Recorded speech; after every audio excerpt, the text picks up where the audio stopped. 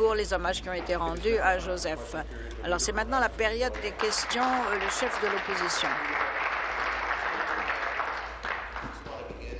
Bon, je vais commencer par euh, souhaiter la bienvenue à tous les gens euh, qui sont revenus dans cette Assemblée.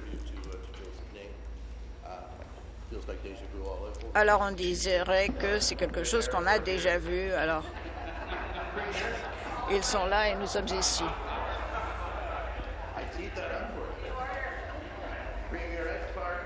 Madame la Première ministre, Ed Clark a certainement dit très clairement que le rapport bon, n'était pas suffisant parce que euh, il faudrait donc faire quelque chose que vous vouliez. Mais vous n'avez pas permis à M. Clark d'avoir toutes les options sur la table dès le départ. Il y a de nombreuses personnes, y compris moi-même, nous pensons que ce que vous vouliez, c'est une excuse, un rapport qui vous permettrait d'avoir un nouvel outil comme l'alcool, la bière, euh, l'électricité, avec la menace donc euh, pour certaines personnes qui vont perdre leur emploi. Alors moi, je vais vous demander, est-ce que les gens vont perdre leur emploi? Est-ce que le prix de l'alcool, de la bière va, va augmenter? La Première ministre. Merci beaucoup, Monsieur le Président.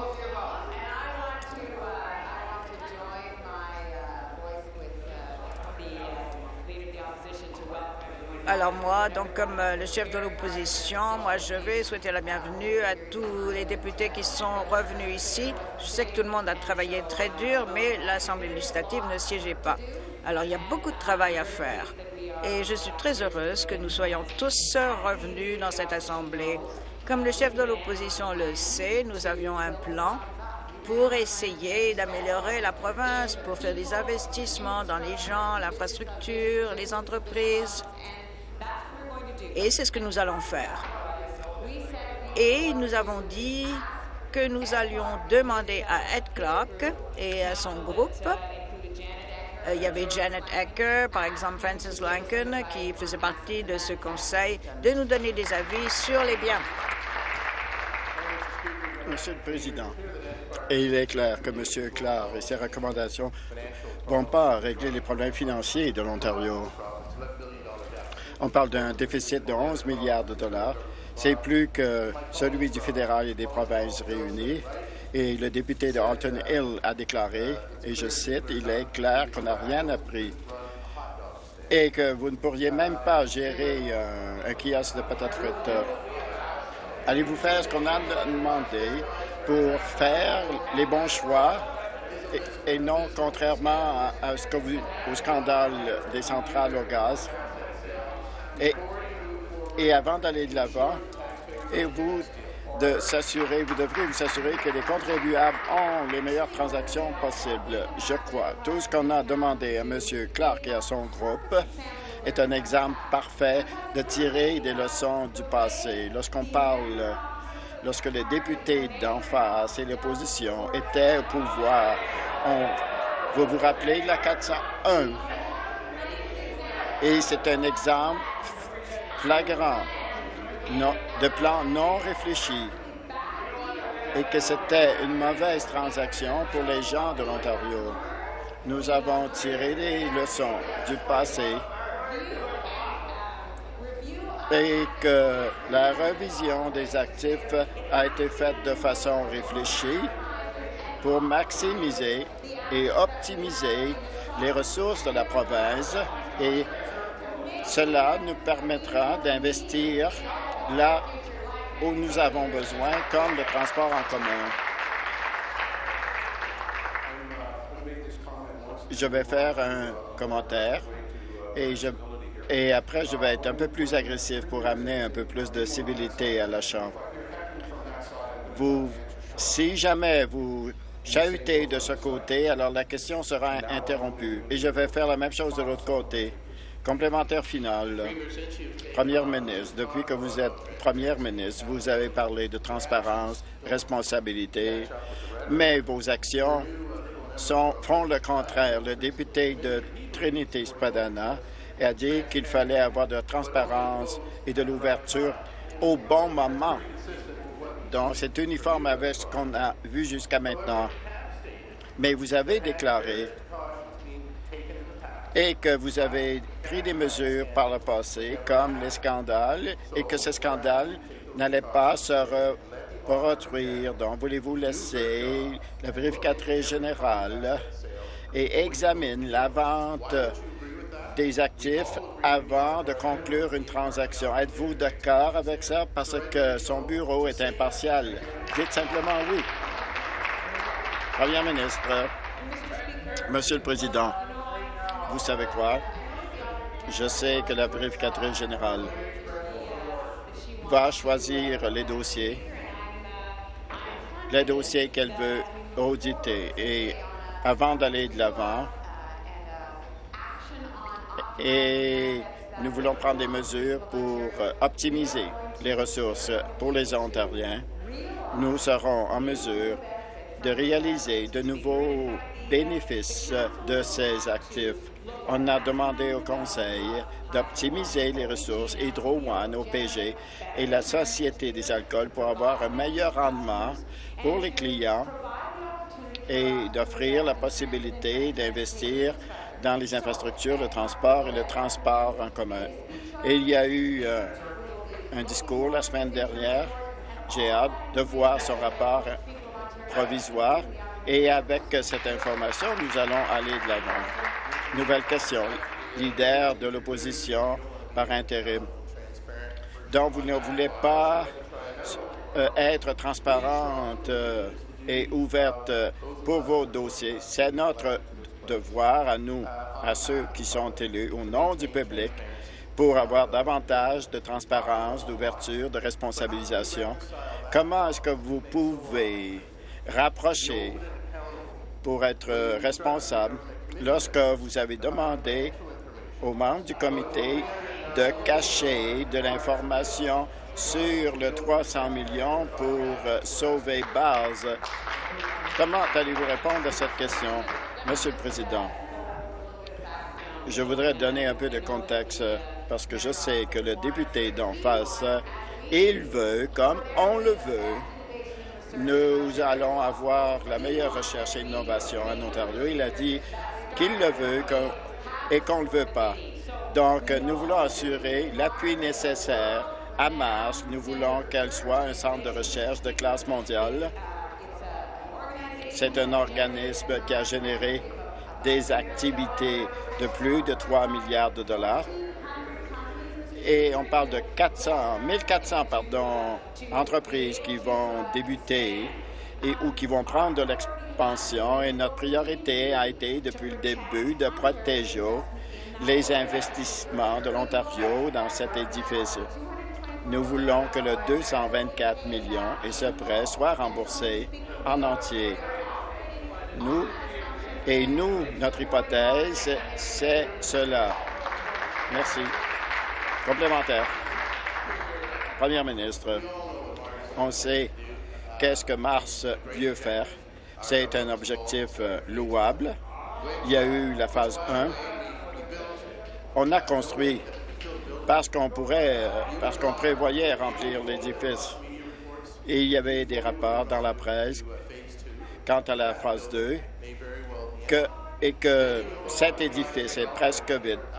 Vous avez demandé à Alexandre, pardon, Alexandria Real Estate et à Infrastructure Ontario, sans transparence, sans, sans avoir euh, l'appoint, ou pardon, oui, du procureur général, vous nous devez à nous, les contribuables, une, explication une explication. Nous voulons voir les, euh, une explication. Nous voulons le contrat avec Alexandria Real Estate et le prêt et l'information détaillée sur le prêt accordé par Infrastructure Ontario. Premier ministre, Monsieur le Président, le député d'en face sait très bien que cet édifice a été évalué conformément au, à l'investissement de l'Ontario. Il sait très bien ce serait téméraire de notre part et cela mettra en danger l'entente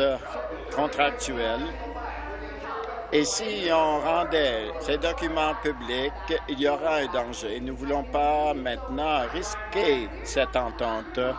Nous n'allons pas miner un arrangement qui est à l'avantage des Ontariens en rendant l'information publique qui doit être confidentielle pendant un certain temps.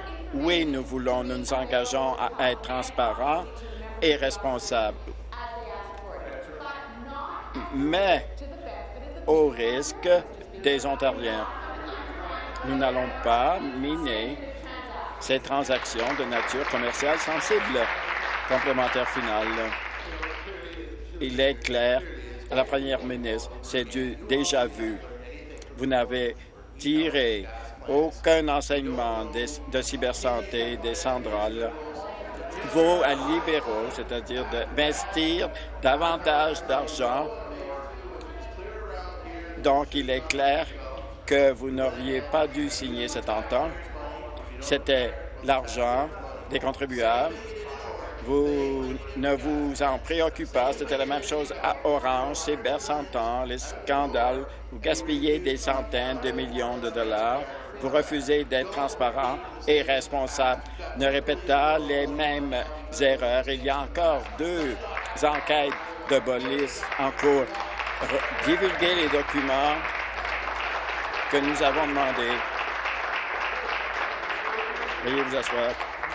Merci. Premier ministre, Monsieur le Président, le ministre euh, responsable des infrastructures revoit les documents. Nous allons les divulguer de façon responsable. Nous n'allons pas miner, comme je l'ai dit, les deniers publics de l'Ontario en divulguant des documents de nature commerciale sensible, alors que les transactions sont toujours en cours. Nous savons que Mars sera et est et continuera d'être un succès. Le député devrait être prudent s'il met risque le futur de l'Ontario avec Mars. À l'ordre.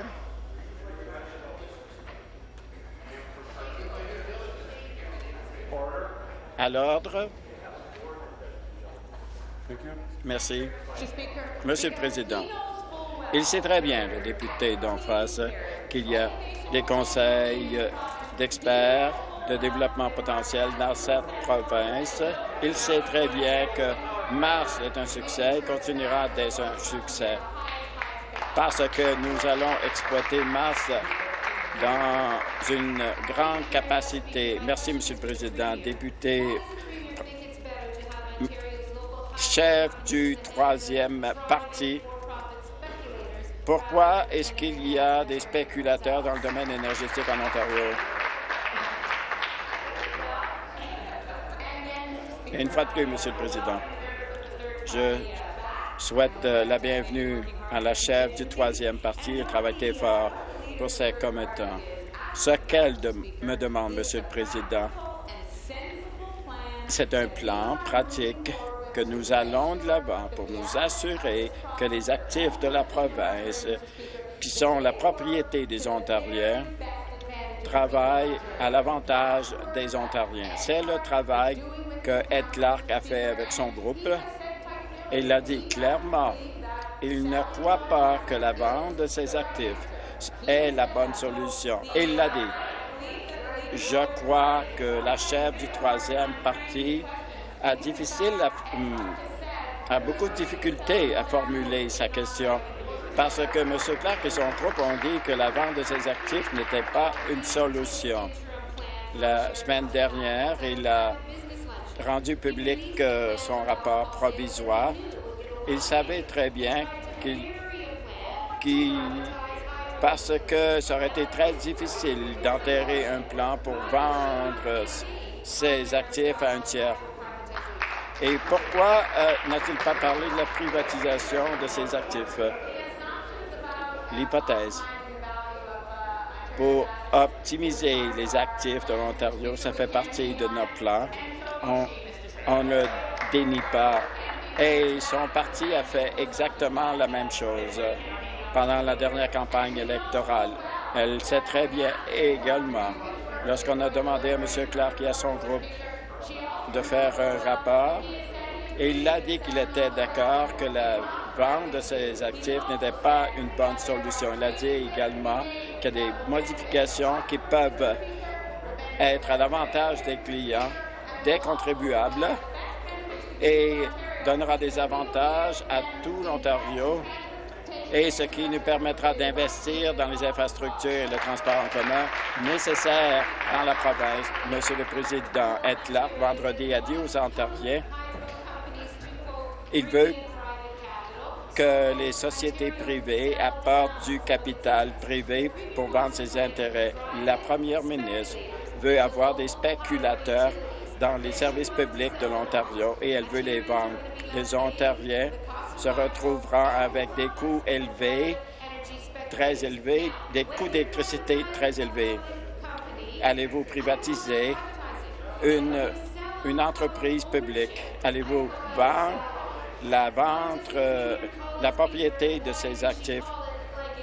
Pourquoi elle ne l'a pas appelé comme ça aurait dû être appelé pendant la campagne électorale? J'ai été très clair. On a été très clair pendant la campagne électorale que nous allions nous pencher sur les actifs de la province pour nous assurer que ces actifs seraient optimisés pour euh, investir dans de nouvelles infrastructures nécessaires pour les interviens, l'infrastructure et, le transport. La troisième partie, pardon, le troisième partie n'allait rien changer qu'elle n'allait pas prendre une décision responsable qui a été sur des actifs qui ont été achetés il y a plusieurs années pour les optimiser. Elle ne le ferait pas.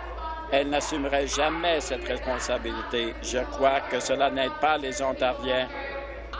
Et je crois, Monsieur le Président, qu'il y a une façon d'apporter des changements qui seront à l'avantage de l'Ontario. Veuillez vous asseoir. Veuillez vous asseoir. Nouvelle question. Leader du troisième parti. Ma question s'adresse à la première ministre. La première ministre se comporte comme si le réseau électrique appartient au Parti libéral et, et les sociétés d'électricité appartiennent aux Ontariens. Donc, elle veut les privatiser. Elle avait caché ce plan pendant les élections. Va-t-elle le dire et s'engager de demander aux Ontariens leur approbation avant de vendre leurs actifs. Merci, Monsieur le Président. Rappel à l'ordre. Merci, Monsieur le Président. Je ris parce que, parce que le ministre de l'Environnement et des changements qui platiquent. Donc, il, savait très bien ce qui se passe parce qu'on voulait faire cela si je me souviens de votre déclaration du texte du budget en mai, le gouvernement veut optimiser les ressources de l'Ontario, y compris les biens immobiliers, les sociétés de la couronne comme l'OPG Hydro One et la Société des alcools de l'Ontario. C'était là. C'était notre programme électoral. C'est ce que nous avons offert aux gens de l'Ontario. Et c'est exactement ce qui était exactement sa même plateforme électorale. L'une des choses qui est claire, ça faisait partie du budget au cheval euh, de Troyes. Manitoba et la Saskatchewan. À l'ordre. Le député de Eglinton Lawrence, à l'ordre. Ministre de l'Environnement, à l'ordre. Poursuivre. Le Manitoba et la Saskatchewan, deux provinces qui ont des protections concernant leurs biens publics. Est-ce que la première ministre va appuyer la motion des néo-démocrates d'avoir un référendum pour protéger ces services avant leur vente. Monsieur le Président, une fois plus, je renvoie la chef du troisième parti au texte de notre plan, de notre campagne électorale, d'aller de l'avant pour avoir une démarche équilibrée pour investir dans les transports, les infrastructures et, et nous, c'est-à-dire optimiser les actifs à la hauteur de 3,5 millions de dollars. C'était notre campagne, c'était notre programme électoral.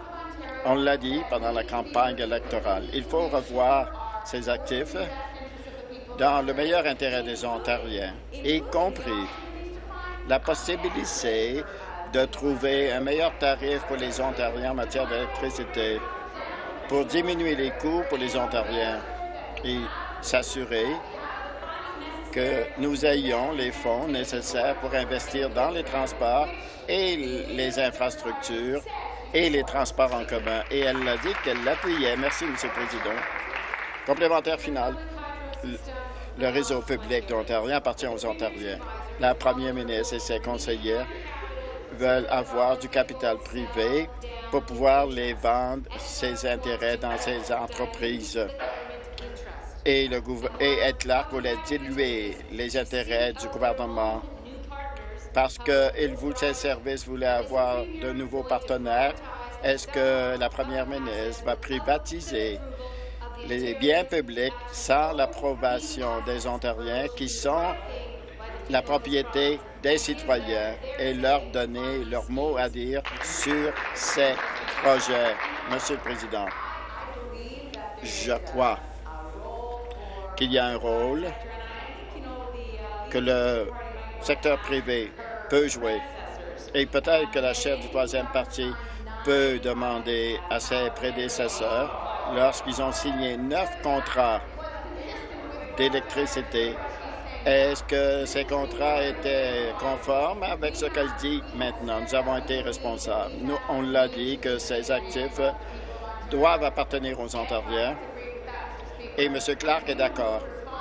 Nous allons agir de façon responsable pour que ces actifs soient à l'avantage de l'Ontarien, qu'ils soient recyclés, que ces investissements puissent être utilisés pour les infrastructures et les, les transports, c'est la bonne chose à faire.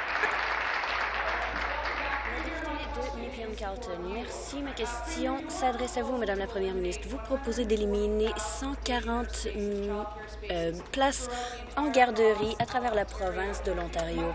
Ma question, c'est pourquoi est-ce que vous voulez que ce soit encore plus difficile pour les parents ontariens tels que moi-même qui essayons de trouver une garderie qui est abordable, qui sont près de chez nous? Pourquoi est-ce que vous essayez de limiter l'accès? Le ministre de l'Éducation. Je suis un peu confuse en ce qui concerne la nature de la question parce que j'ai... Je n'ai absolument aucun plan d'éliminer les espaces en garderie. La seule façon que, dont je peux comprendre cette question ou euh, dont je peux m'assurer qu'elle a tiré ses conclusions, c'est qu'on parle des espaces illégaux en garderie. Et euh, ces espaces, nous voulons certainement nous en débarrasser.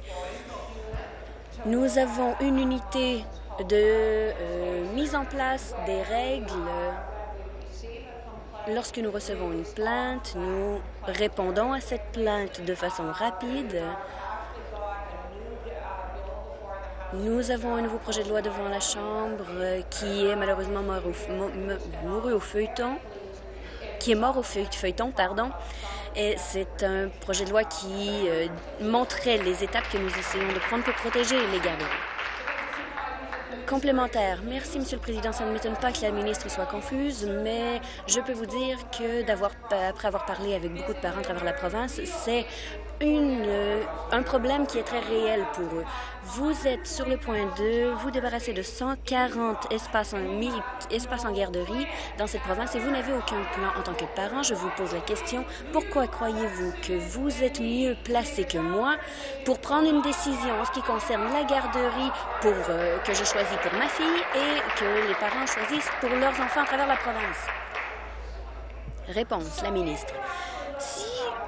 Vous regardez la modernisation de la loi sur la modernisation des garderies, vous vous rendrez compte que les gens qui ont une licence pour être éducateurs, ils sont en mesure d'augmenter le nombre d'enfants qui sont sous leur responsabilité. Et c'est la façon dont on peut s'assurer de la coopération. Nous avons donc ici un projet de loi qui augmentera le nombre d'enfants qui peut euh, se retrouver sous la responsabilité d'un éducateur à la fois. Nous l'augmentons de 5 à 6. Cependant, la question qu'il faudrait euh, poser, c'est pourquoi est-ce que on ne demanderait pas aux garderies qui n'ont pas de permis de suivre les mêmes règles que ces garderies qui ont des permis? Ce que l'on veut, c'est d'améliorer le soin pour nos enfants. Mais ce que l'on fait aussi ici, dans cette Assemblée, c'est de mettre en place de nouvelles règles et de nouvelles façons de mettre en place les règles. Nouvelle question. Le député de Windsor-Tecumseh. Merci. Ma question s'adresse au ministre du Développement économique de l'Emploi et de l'Infrastructure. Bonjour, Monsieur le ministre. Merci de nous avoir visités à Windsor. Merci de nous avoir visités. Nous sommes toujours heureux de vous voir.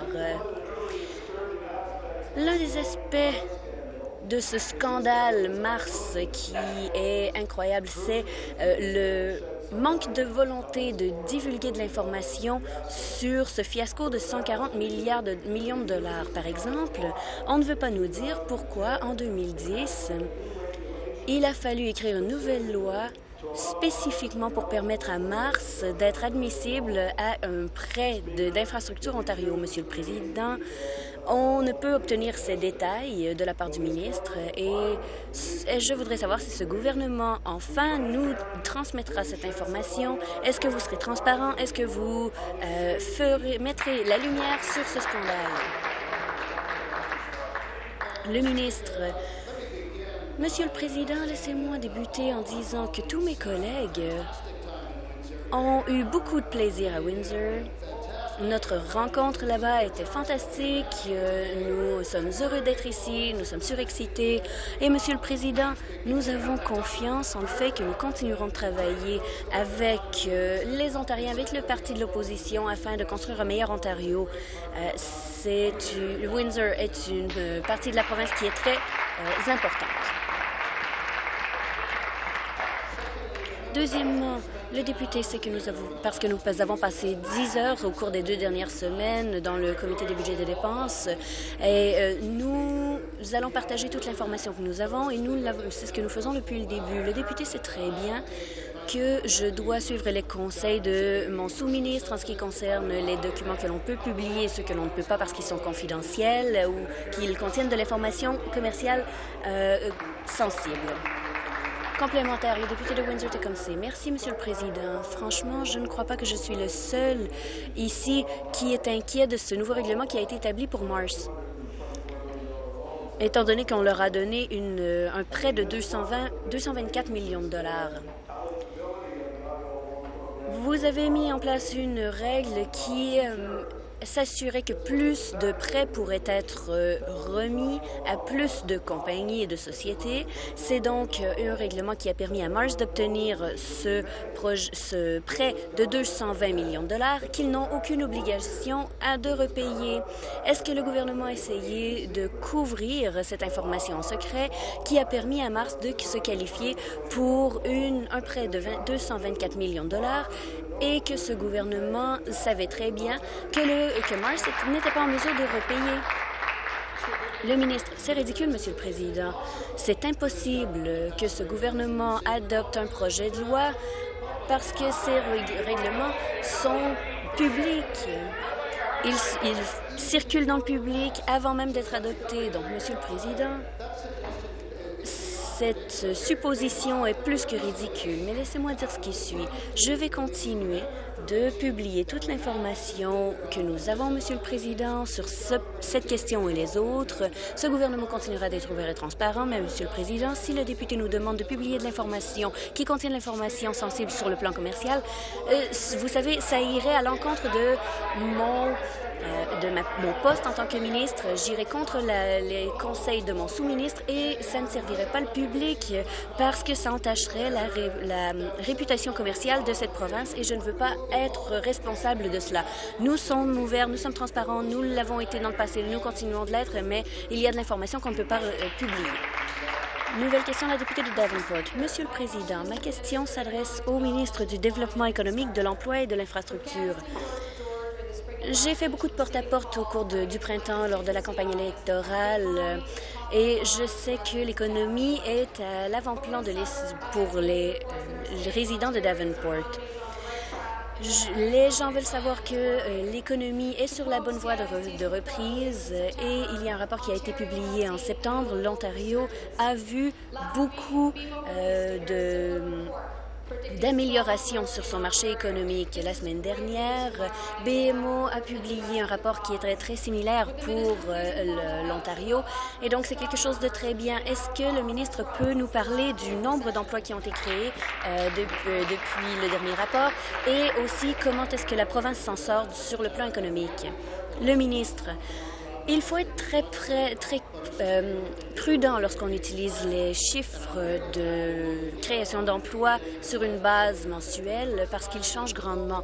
Mais pour la première fois depuis la, réception, la récession mondiale, nous avons obtenu près d'un demi-million de nouveaux emplois nets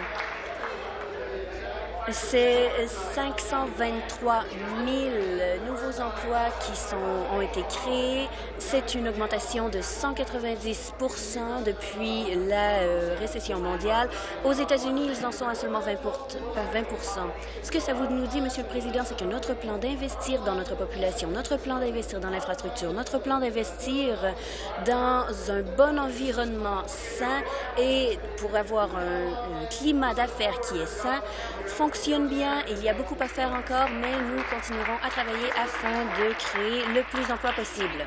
Complémentaire. Monsieur le Président, c'est d'excellentes nouvelles pour mes résidents, pour mes commettants, ainsi que pour tous les résidents de la province de l'Ontario.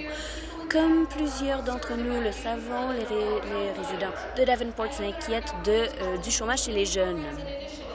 Notre gouvernement a mis en place beaucoup de programmes et d'initiatives pour aider les jeunes à atteindre le marché de l'emploi dans la province. Dans le budget 2013, nous avons mis une nouvelle initiative qui a été une grande réussite.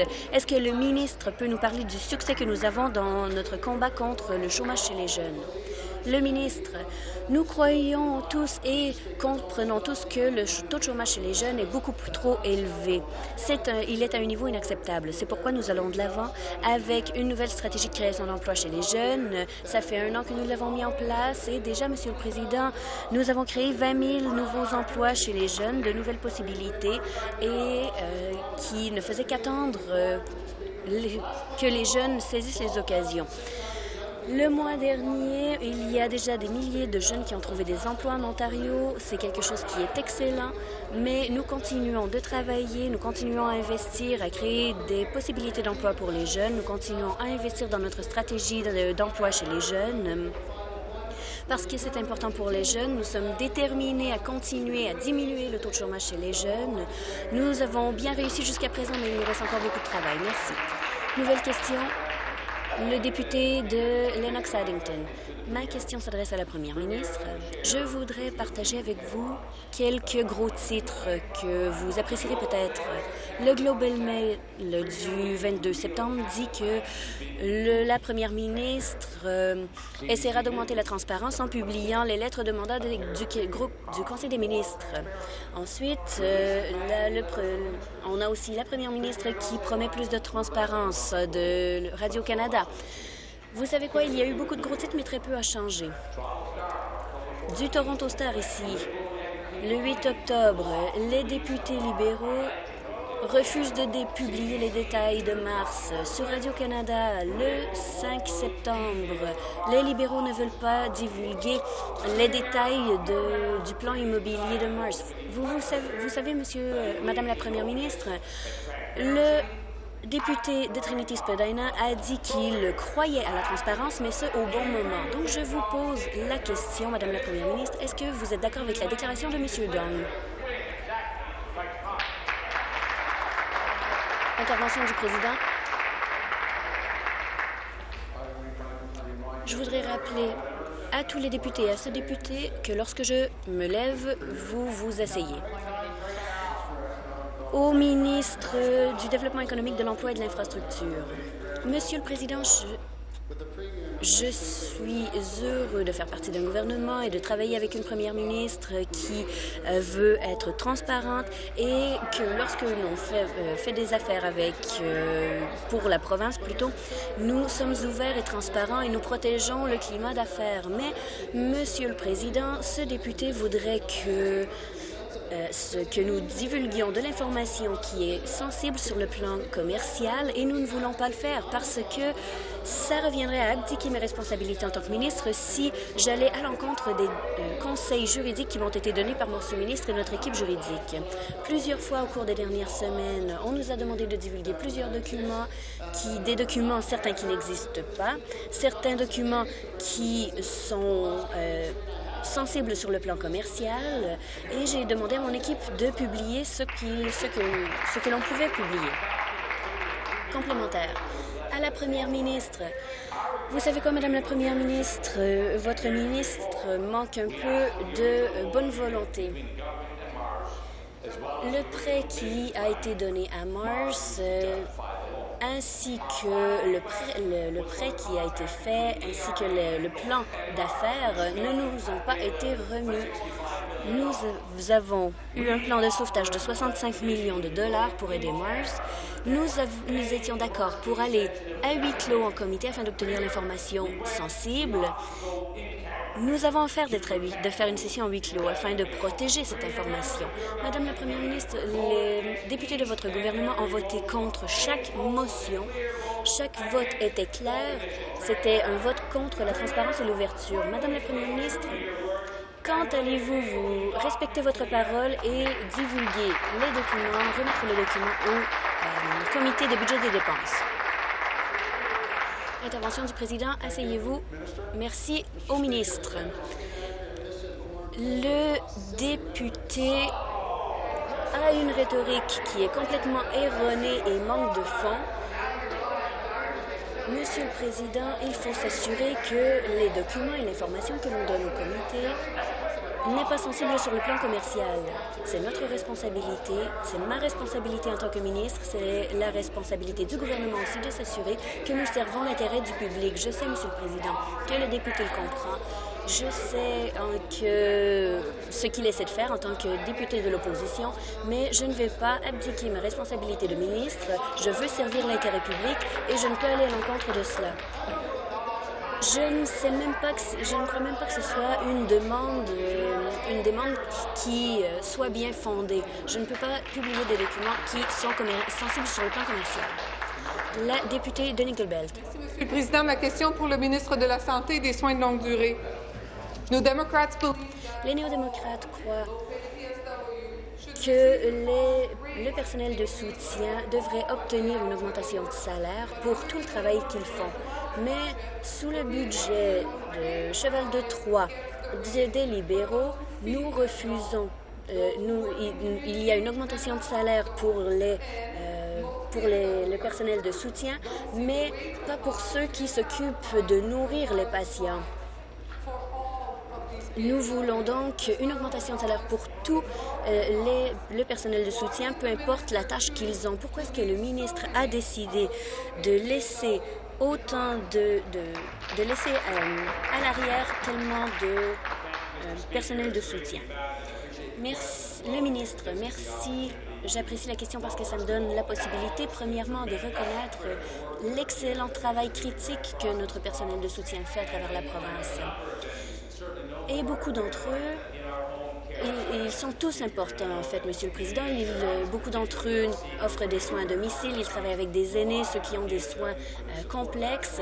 Et les gens ont besoin de leur aide. C'est pourquoi, Monsieur le Président, je suis fière de faire partie d'un gouvernement qui s'est engagé envers notre personnel de soutien, qui, franchement, euh, ne reçoivent pas un salaire à la hauteur de leur travail. Euh, nous voulons augmenter leur salaire de 4 dollars de l'heure et ce étalé au cours des trois prochaines années.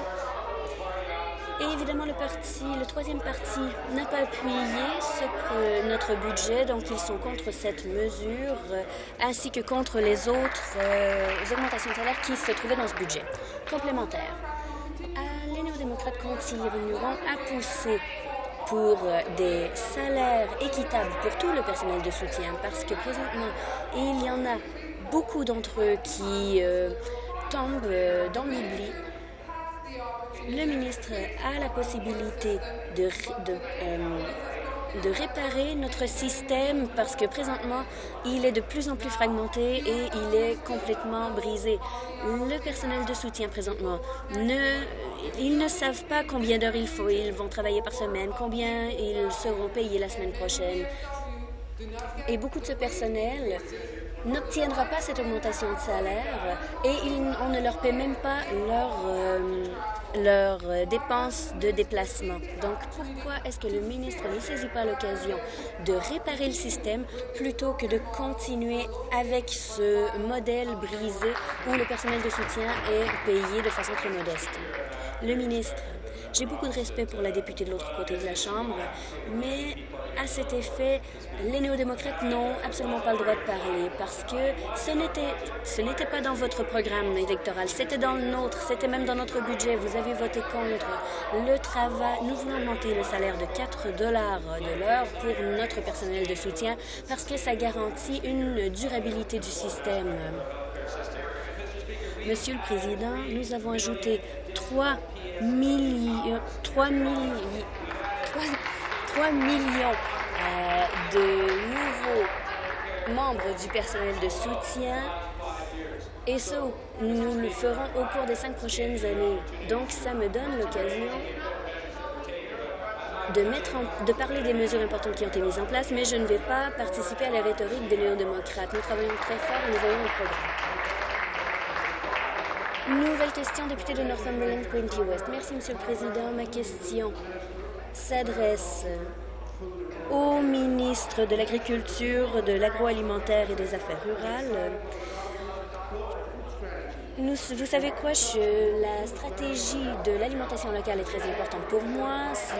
La, nourriture locale, l'alimentation locale, c'est quelque chose d'essentiel. Dans ma circonscription, nous avons beaucoup de possibilités d'acheter de, de, des aliments locaux. Par exemple, notre marché de fermiers Intervention du président.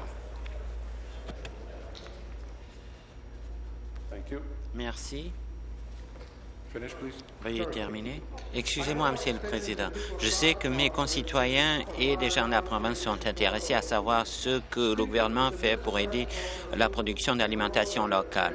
Est-ce que le ministre des Affaires, euh, de l'Agriculture, de l'Alimentation et des Affaires rurales peut donner une mise à jour de la stratégie des, euh, aliments locaux? Réponse du ministre. Merci, Monsieur le Président, et c'est très bien d'avoir une voix positive du député de Northumberland County West ajoutée à nos voix. Et je sais, Monsieur le Président, que le député de Northumberland County West est toujours au marché d'agriculteurs, de, producteurs de Coburg. Il a passé beaucoup de temps avec les agriculteurs euh, quand ils cueillent euh, la, le soja. Les marchés locaux euh, aident les communautés locales et dans le secteur agricole de l'Ontario, on produit 34 milliards du PIB et on emploie euh, beaucoup d'Ontariens, plus de 74 000. Et donc, on veut continuer à appuyer les marchés des producteurs locaux et aider les producteurs d'aliments locaux. 100% du fromage euh, seront faits avec euh, du lait canadien. Maintenant, on nous assure et c'est une bonne chose. Question complémentaire? Merci, Monsieur le Président, et merci au ministre de sa réponse. Mes électeurs sont contents de voir qu'on appuie ce mouvement d'alimentation locale parce que c'est très important pour nous. Il y a beaucoup de producteurs locaux. Depuis quelques mois, on s'est intéressé à la partie des, euh, des mesures législatives qui aident les dons des agriculteurs aux banques alimentaires. Je sais qu'on prend pour acquis le travail des agriculteurs, mais cette modification a été très importante.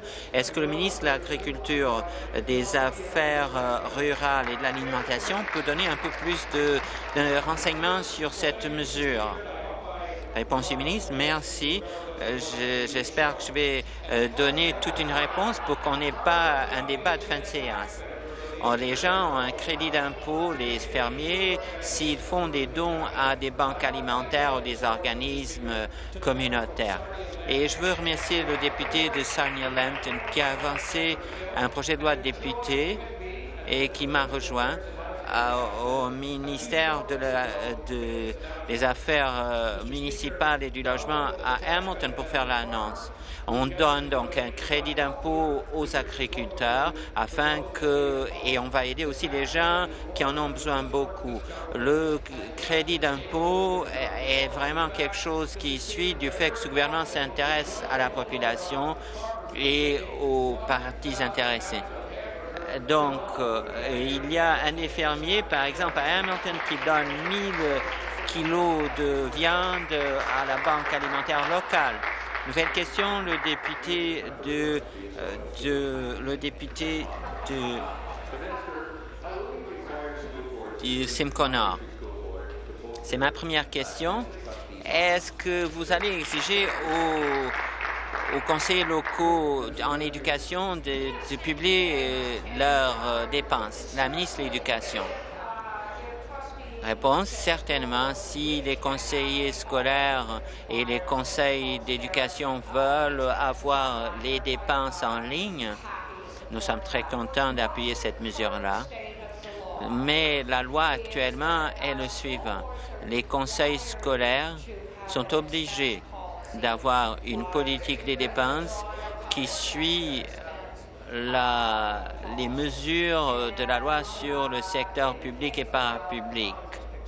Dans le cas du conseil scolaire du district de Toronto, et c'est sur quoi porte la question, quand on a le comité de vérification qui nous a posé des questions, qui n'avaient pas une politique, ils étaient préoccupés quant aux dépenses, on a nommé un vérificateur indépendant pour voir si on répondait à la directive de la loi.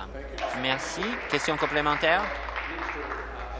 Madame la ministre, je pensais que votre gouvernement euh, euh, croyait à la transparence et à la redevabilité, mais on a vu des annulations de, des centrales au gaz, il y a cybersanté, maintenant on a Mars, donc il y a plein de scandales. Et je pense que les parents et les contribuables ont le droit de savoir quelles sont les dépenses des conseillers en éducation. Et en fait, on a une dette d'un milliard de dollars dans la province de l'Ontario à chaque mois. Les euh, journalistes du Toronto Star ne devraient pas être obligés de payer des milliers de dollars pour savoir quelles sont les dépenses. Pourquoi est-ce que tous les élus ne sont pas obligés d'avoir leurs dépenses en ligne? Réponse la ministre. Nous sommes prêts à voir cela comme une option dans les mesures législatives sur la redevabilité, mais en ce moment, je n'ai pas d'autorité légale pour euh, l'obliger. Quand le conseil scolaire n'a pas utilisé l'autorité, n'a pas répondu à la loi, là, à ce moment, on leur a demandé de suivre la loi, mais franchement, je pense que c'est pourquoi les gens doivent penser avec beaucoup d'attention dans la semaine prochaine quant à l'élection des conseillers en éducation, des conseillers scolaires, parce que le conseil scolaire va avoir une politique ouverte qui répond aux directives de la loi sur le secteur parapublic. Si le conseil scolaire n'a pas euh, suivi ces règles, et donc il devait passer aux gens qui les disent comme conseillers scolaires. Nouvelle question, le député d'Algoman Manitoula. Merci, Monsieur le Président, et bonjour à vous. Ma question s'adresse à la Première ministre le rapport du juge Bélanger sur l'effondrement euh, de centre d'achat Algo à Elliott Lake avait beaucoup de détails. Mais le juge Bélanger a démontré beaucoup de frustration qu'un rapport sur la détérioration des conditions n'a pas été divulgué à la Commission bien après les audiences euh, et que les audiences aient terminées. Même si certains participants à l'enquête avaient aidé à préparer ce rapport-là, le juge Bélanger a dit qu'il savait qu'il avait ce rapport du gouvernement, son mandat aurait été beaucoup plus efficace. Comment c'est possible que des fonctionnaires du gouvernement n'ont pas divulgué ce document-là? La première ministre, la procureure générale, Monsieur le Président, le ministre de la, Sécurité communautaire et, des services correctionnels était là, euh, de même que moi à Elliott Lake, quand euh, le commissaire a déposé son rapport. Et on le remercie de son rapport. C'est une étude très attentionné à la tragédie du Central Go à Elliott Lake. Et je veux donner mes condoléances aux familles des deux victimes. C'était un événement malheureux et j'étais là quand cela a eu lieu et j'étais là pour les funérailles d'une des victimes. Et j'étais encore quand on a déposé euh, le rapport avec la population d'Elliott Lake. Le commissaire a donné des recommandations très importantes dans son rapport. Et je veux remercier tous les gens qui ont participé avec le commissaire, tous les particuliers, les organismes qui ont contribué à ces recommandations. Et merci, Monsieur le Président. Question complémentaire. Merci, Monsieur le Président. Je reviens à la Première ministre. Le commissaire Bélanger a dit qu'il y a une grande question encore et son rapport ne peut pas répondre à cette question-là.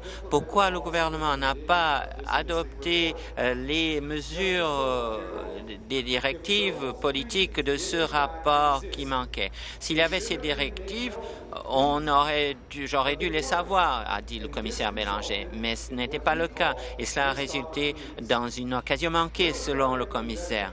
Est-ce que le gouvernement va faire une enquête? Et va expliquer aux Ontariens et Ontariennes pourquoi ce euh, document n'avait pas été publié pendant l'enquête? Le ministre de la Sécurité communautaire et des services correctionnels. Merci, Monsieur le Président. D'abord, je veux faire écho de mes condoléances à la famille Parisolo et Alwan qui ont perdu leurs êtres chers dans cette tragédie à Elliott Lake il y a deux ans. Je veux remercier le député d'Algoma Manitoulin de son travail acharné avec sa collectivité sur cette question très importante. Il était présent quand la procureure générale et moi on était à Elliott Lake la semaine dernière pour recevoir le rapport du commissaire Bélanger. Et pendant qu'on était là, on a assuré la collectivité qu'on engagerait dans une analyse poussée du rapport et du travail fait par le juge Bélanger, qui a été incroyable, et on s'est engagé à donner des réponses à la communauté comme il nous a dit de le faire, avec des mesures spécifiques sur comment adopter ces recommandations. Merci. Nouvelle question. La députée de Kingston et les îles. Monsieur le Président, ma question s'adresse au ministre des Affaires autochtones. Monsieur le Président, notre gouvernement a démontré son engagement euh, aux gens pour que tout le monde ait une occasion d'avoir du succès et de participer entièrement dans l'économie. Je sais que dans cette Chambre, on veut savoir comment ce gouvernement va continuer à aider les populations autochtones à travers l'Ontario. Il y a plus de 9000 entrepreneurs en Ontario qui s'identifient en tant qu'autochtones. Même s'il y a de la croissance positive pour les entreprises et les entrepreneurs autochtones en Ontario, on sait que les entreprises autochtones et les collectivités autochtones ont beaucoup de problèmes quand même. Cela inclut la difficulté à avoir accès au capital et manque de capacité à l'échelle de la communauté pour euh, avoir de l'expansion économique. Je demande au ministre, en tant qu'ancienne euh, femme d'affaires, je suis intéressée à ce que notre gouvernement va faire pour assurer que les Autochtones peuvent avoir l'appui pour des occasions d'entreprise, de, formation et d'emploi. Merci, le ministre des Affaires autochtones. Je veux remercier la députée de Kingston et les îles de cette question. Et mon ministère, nous, notre gouvernement, on travaille dans tout le gouvernement avec nos partenaires autochtones pour avancer le développement économique chez les Autochtones. Il y a beaucoup de choses auxquelles il faut penser, des recherches avant de lancer une entreprise. Et plus tôt cette mois, j'ai euh, annoncé le Fonds de développement économique des Autochtones qui maintenant est ouvert. Et il y a cette initiative sur trois de 25 millions de dollars qui veut aider le fonds de, de prospérité pour améliorer la situation socio-économique des peuples autochtones. Par ces trois fonds, ce fonds de développement économique des Autochtones. On va aider les entreprises et les communautés autochtones à diversifier. Je peux dire en cette Chambre qu'on veut améliorer les résultats socio-économiques des peuples autochtones, ce qui fait partie du plan économique de notre gouvernement. C'est un investissement dans la prospérité future et c'est quelque chose de très bien. Merci. Quand je me lève, vous vous asseyez. Merci, Monsieur le Président.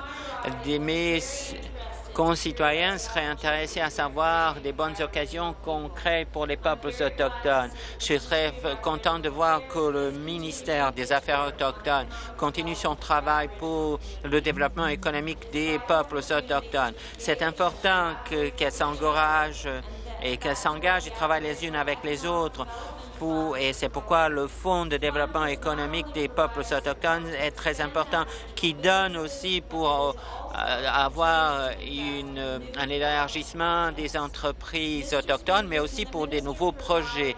Monsieur le Président, est-ce que le ministre peut donner d'autres renseignements sur les trois courants de financement et comment le Fonds de développement économique va aider les communautés autochtones à euh, avoir un bon développement.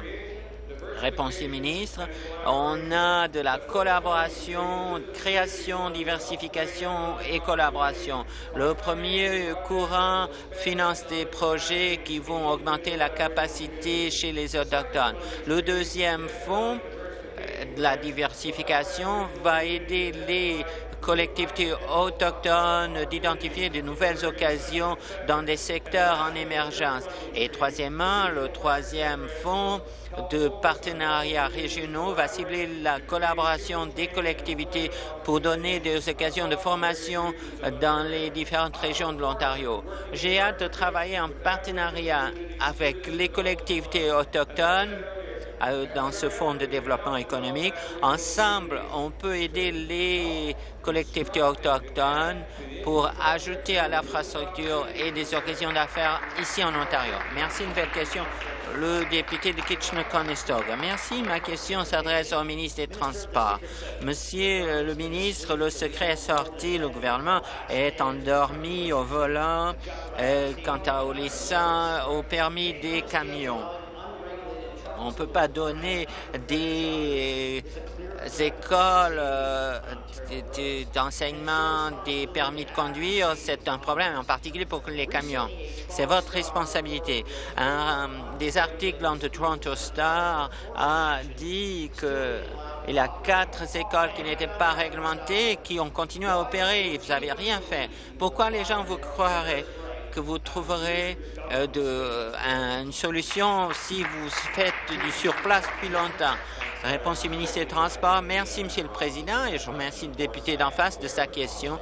Je suis bien conscient des articles sur, du Toronto Star, et le député d'en face euh, sait bien non seulement ce gouvernement, mais le ministère des Transports et nos partenaires de sécurité routière en Ontario. Nous avons les routes les plus sécuritaires en Amérique du Nord, entre les plus sécuritaires en Amérique du Nord. Et le député d'en face le sait, je pense, s'il avait lu les articles, que j'ai eu l'occasion de parler au Toronto Star et de leur dire qu'on n'accepte rien d'autre qu'une bonne sécurité routière pour toute la population. C'est pourquoi euh, je me suis porté à travailler avec le ministère de la formation des collèges et universités afin qu'on puisse avoir de la formation obligatoire pour les camionneurs en Ontario. Merci. Question complémentaire? Monsieur le ministre, on a besoin de gestes tout de suite.